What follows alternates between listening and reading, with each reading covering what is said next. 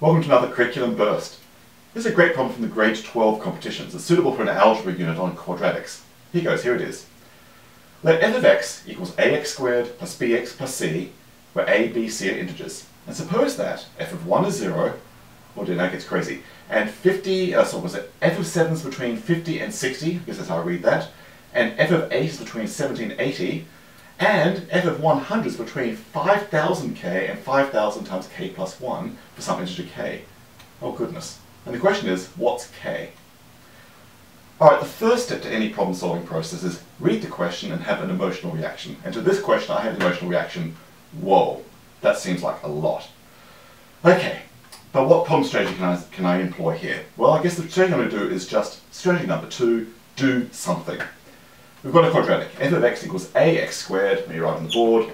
f of x is ax squared plus bx plus c. That looks familiar from an algebra class, so I feel like I'm in some familiar territory, even though I have no idea what I'm doing next. But I'm just going to do something. What can I do? The question does say f of 1 is 0. Well, I feel like that's manageable. f of 1 is 0 is telling me that a times 1 squared plus b times 1 plus c must be 0. Well, so there's an equation, a plus b is 0. These three numbers add up to zilch. For example, I could say that c is, I don't know, negative a minus b, or b is negative a minus negative c, whatever. I could play with this equation. That's something. And then I get the scary stuff.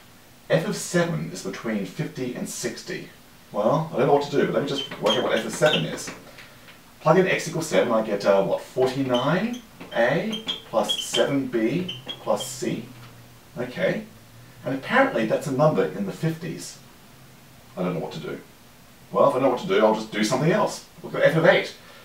Alright, f of 8. Plug that in. Uh, x is 8, so that'd be 64a plus uh, 8b plus c. And apparently, according to the question, that's a number in the 70s.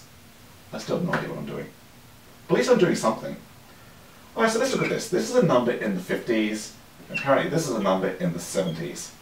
I've got this piece of information. Actually, let's, let's look at this. c is negative a minus b.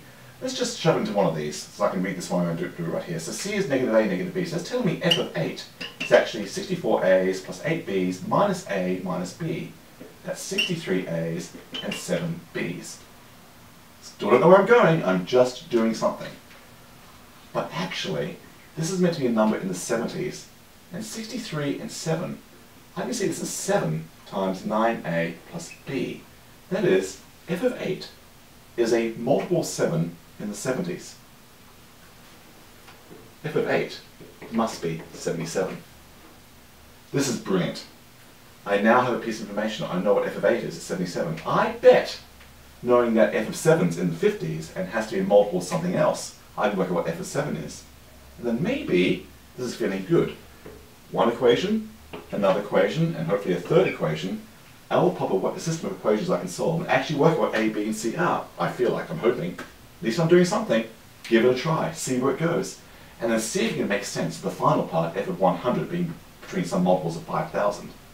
Maybe the question will fall into place after all. Give it a try and have fun with it. Thanks.